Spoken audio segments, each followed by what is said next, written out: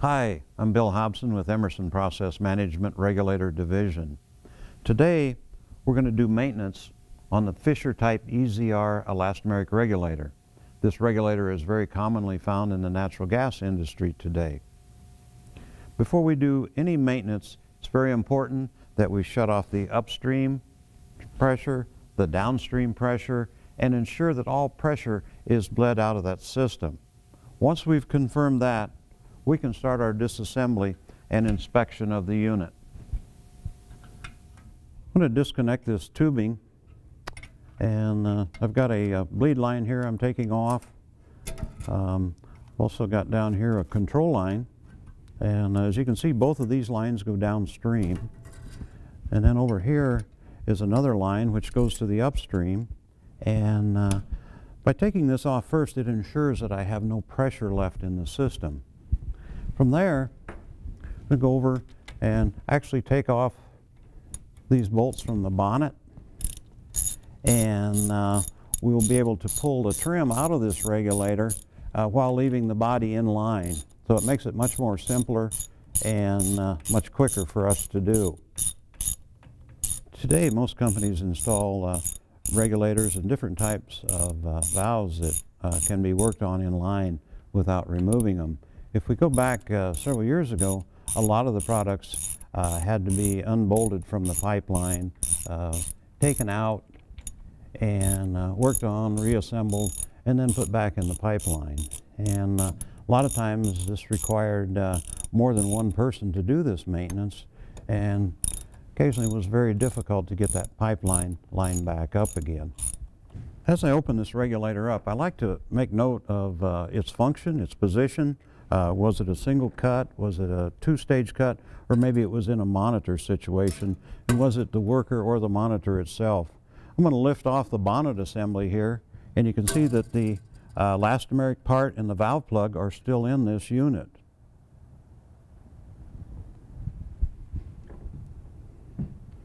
From there, we're going to pull out the cage and uh, we'll inspect this as we uh, do our uh, maintenance check on it. We're going to remove the rest of the parts from this body. Um, we have two O-rings in here that uh, help us seal the unit up. Uh, first of all, a bonnet O-ring. Down in the body, we have a lower O-ring and then a strainer basket. Uh, this strainer basket's purpose in there is to catch uh, large particles coming through the uh, flow stream, uh, maybe like weld slag or uh, something of that nature.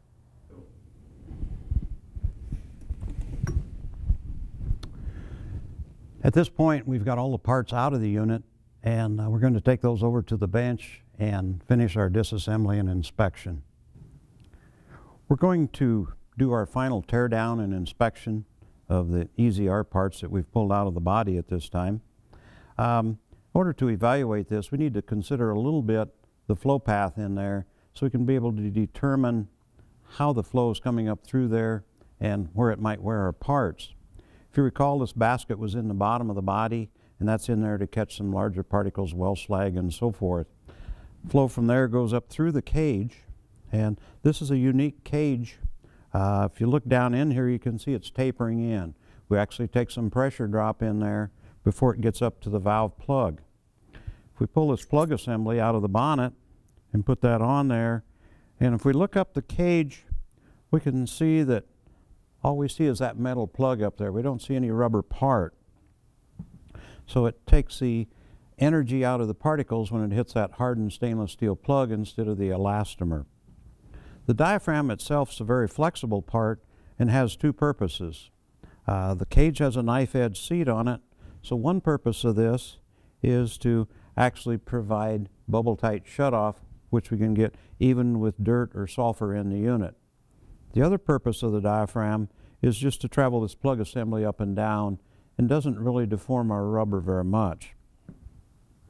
Flow is going to come up, hit this plug, and then go down through the cage. This is a whisper design, gets good noise attenuation because of the large expansion area in the body. Plug assembly itself goes up into a stainless guide bushing in the bonnet, so you always come back to that same position. If we take this cover off, we can see that this unit has a travel indicator in it. And uh, in operation, we can tell if the unit is shut off, if it's open a little bit, or maybe it's wide open. We're going to inspect the cage, and uh, this cage has a knife edge seat on it, which is very important for shut off. We want to make sure that we don't have any nicks or anything in that. Uh, this is well protected. It's made out of a hardened stainless steel, so normally we wouldn't expect anything uh, to be wrong with that cage. We'll pull our plug assembly out here and inspect this diaphragm. And what we're looking for is cuts or uh, maybe a little bitty uh, hole starting to do that. If you kind of pull the rubber a little bit, um, if there's anything in there, uh, you can usually see that. Uh, you'll notice that there's a ring around the center plug here. That's where the knife edge seat goes in. That's very uh, customary for that to be that way. Uh, if this has been in very high pressures, you'll also see some indentations from the window, which doesn't hurt it either. Uh, we would like to take a look at the back side of this, make sure we're not getting any blistering or anything like that on the diaphragm. If we determine that uh, we need a new diaphragm on here, there's a little place in the back to put a screwdriver through. We take this nut off.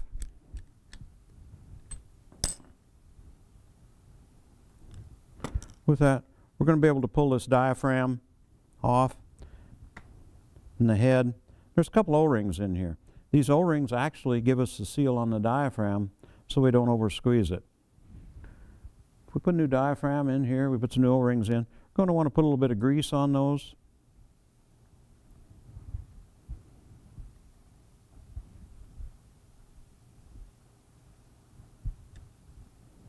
Slide that down on there.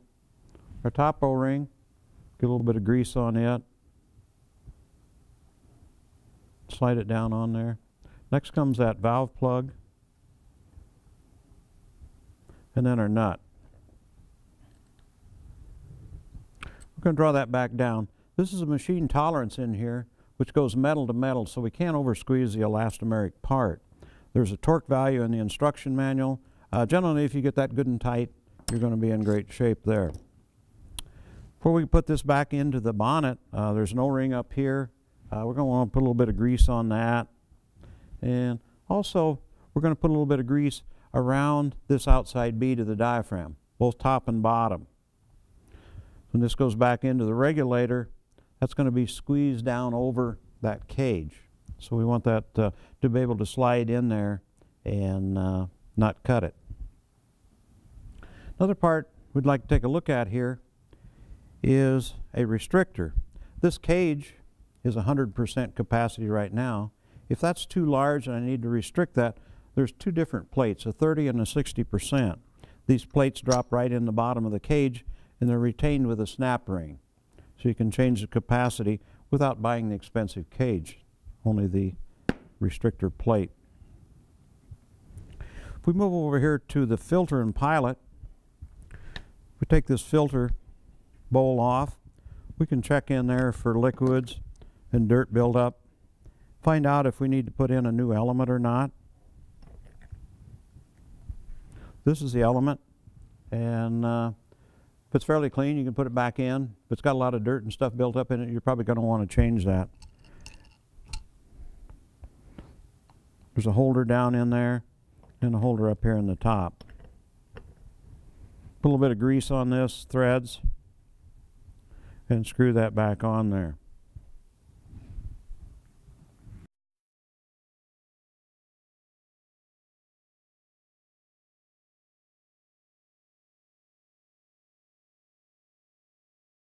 Pilot itself, this is a PRX. It's a double diaphragm pilot and we're able to take this bottom cap off and check the seat in it without releasing our spring pressure. This is quite an advantage so we don't have to reset the unit when we put it back on the flow line. The double diaphragm makes it balanced so it's extremely accurate. And if we look at the side here, we're going to see that there's two different settings on it. Uh, one of them's a restrictor and one's a damper. Uh, most elastomeric regulators have a restrictor with them, and that allows you to set the gain or set the accuracy of the unit. If you happen to have some instability, um, then you have to reduce the gain and reduce the accuracy of the thing. With the PRX, you can maintain that high restrictor setting, bring the damper down, which restricts flow from one diaphragm to the other and take out instabilities. So it makes the regulator extremely stable on low flow conditions. Okay, once we get this cap off, we're going to be into the bottom here. There's a little bitty flat on the end of this stem. We're going to get a wrench on that. Then we're going to get a wrench on this. We're going to take that loose without turning that.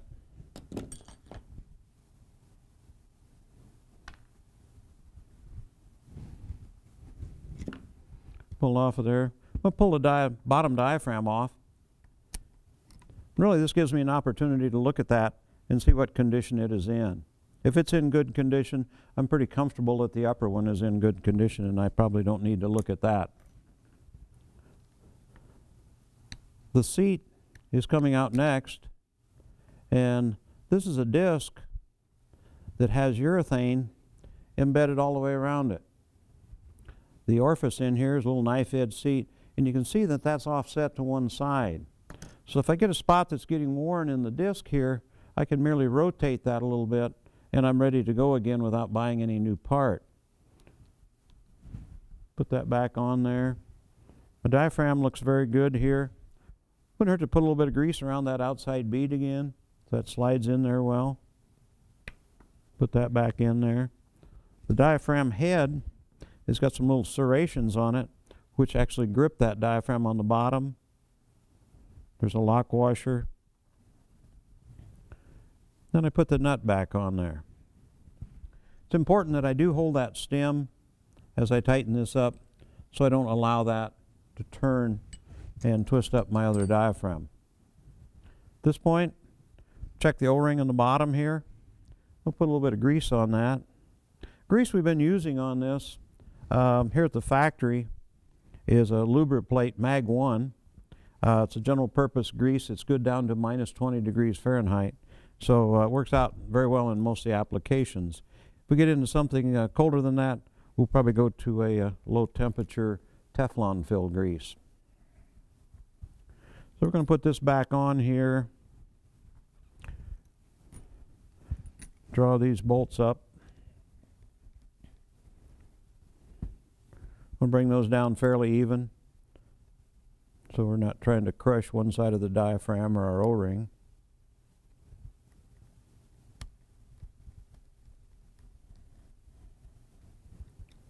We're just about ready to put it back together. Okay, when we get over to the body, um, we've got two O-rings here. And uh, first of all, we're going to put our strainer in there, and then we're going to put this O-ring in. We do want to grease this O-ring. And you might note the bevel on this cage is where that O-ring goes. Actually, this sets right up on top of the strainer. And uh, that squeezes it out against the side of the body then and gives us a good tight shutoff on there. The other O-ring goes around the bonnet. And if you look at the bonnet, there's a bevel around that also. Uh, we're going to want to grease that O-ring up a little bit. And drop it down in there before we draw that down. So I think at this point we're ready to go back and put it into the body again.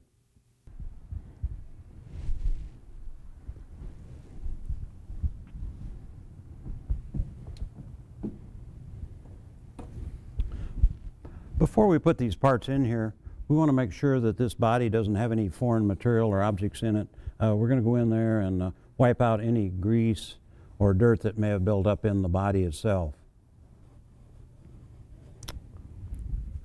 We look clean in there. We're ready to uh, finish our uh, assembly here.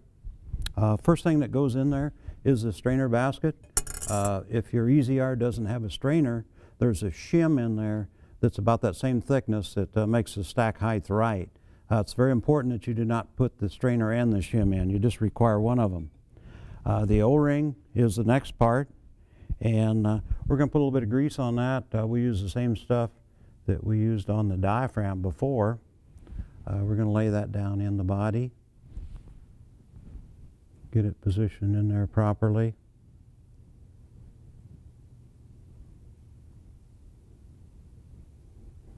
There we go. The next part that we need to put in is the cage. We're just going to drop that right down into the body.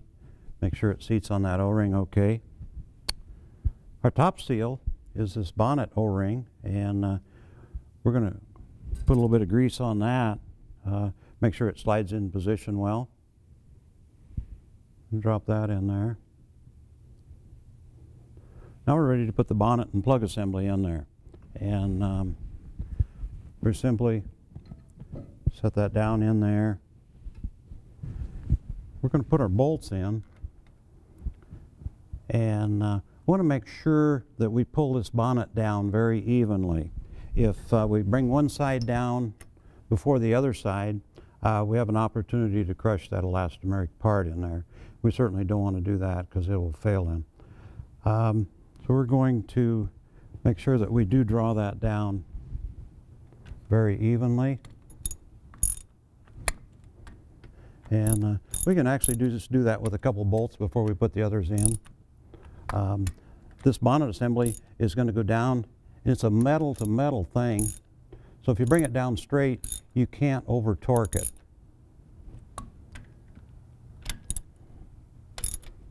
Okay. We are pulled down there at this point, and we can go ahead and put the rest of our bolts in now and draw them down. After I get these remaining bolts put in and uh, drawn down, I'm going to reconnect the tubing to the pilot over here and uh, pressurize the system back up. Uh, I need to check for leaks around my tubing and joints that I've broken. And uh, also want to check my set pressure, make sure that it's right on the set point that we desire out there. And I'm going to run a lockup test on this unit to really to verify my reassembly and what I've done to the regulator before we let this thing go and walk off.